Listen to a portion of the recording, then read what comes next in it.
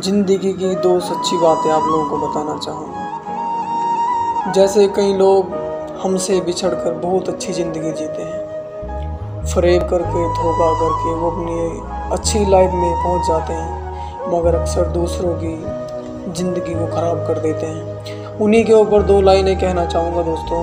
अगर तुम्हें अच्छी लगे तो कमेंट करके ज़रूर बताएँ। कि अपनी मोहब्बत की छाप मेरे दिल से मिटा देते। कि अपनी मोहब्बत की छाप मेरे दिल से मिटा देते।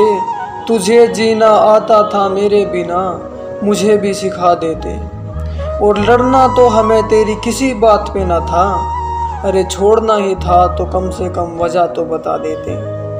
वजह तो बता देते।